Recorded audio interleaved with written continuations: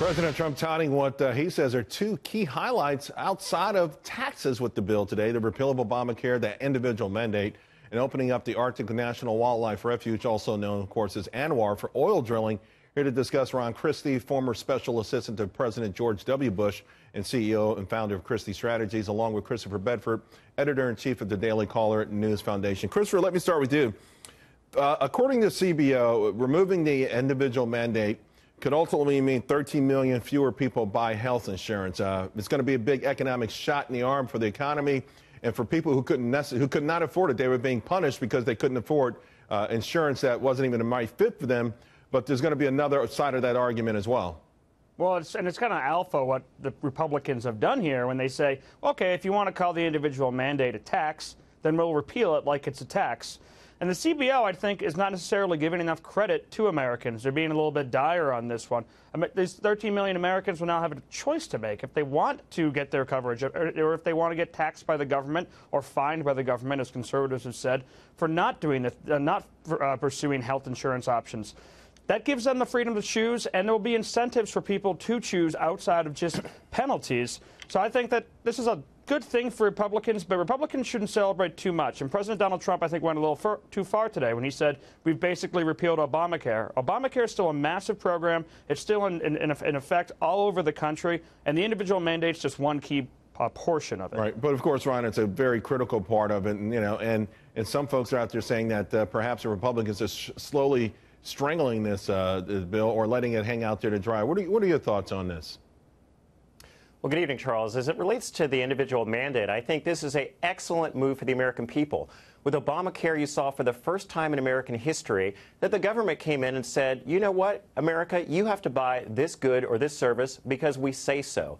There's something about liberty, there's something about freedom. And I think what we found in this tax bill, there are certainly aspects of it that I don't like, but it's comprehensive, it's sweeping, it's the biggest tax piece of legislation we've seen in 30 some odd years.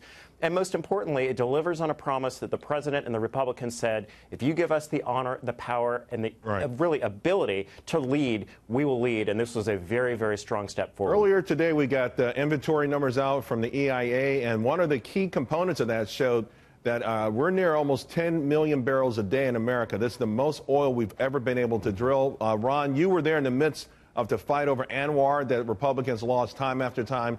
How critical is that for not only energy independence, but economic independence and security independence?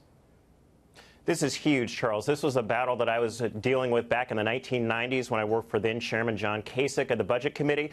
This will open up and really stimulate the economy, not only in Alaska, but it will significantly reduce our dependence on foreign oil. At a time that we're talking about national security issues, economic security is also key here, Charles. And this move with this bill and this provision right. is going to stimulate the economy and make it a lot safer for America to really have a strong sense of oil supply. Chris, what's your sentiment now going forward with the Republicans? They've obviously got a wind in their sails. How do they go from here? They've got to win in their sales, but keep in mind that the Democrats and liberals and activists are going to fight them tooth and nail this entire time. For example, they did just open up ANWR. That's a huge move. It's been a battle going on between Alaskans and liberal activists for four decades.